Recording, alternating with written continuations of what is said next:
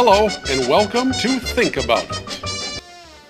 I'm a little concerned today, and I want to address this with you up front. There is a condition that is spreading like an epidemic among liberal Democrats, and it's a lack of honesty and memory. You remember, of course, uh, President Obama sat in Reverend Wright's church for 20 years but never heard a thing or never remembered any of the bad stuff. And now we have Obama spokeswoman Stephanie Cutter coming out and saying, she has no idea about Joe Soptic's wife's story, when she got sick or when she passed away.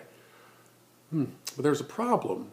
There's both video and audio evidence that she was in a conference call with him hearing the story, which somehow magically then became a campaign ad.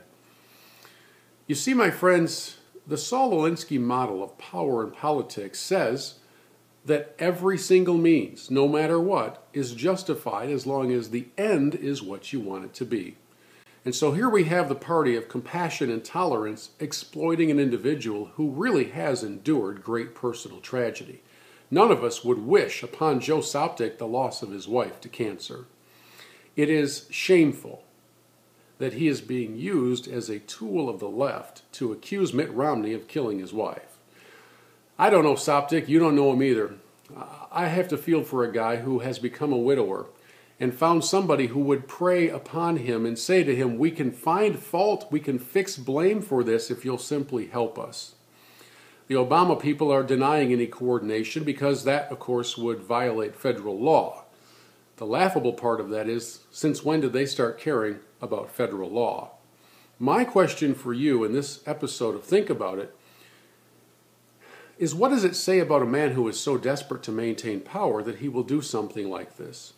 I think it's pretty sad. It's certainly a far cry from hope and change.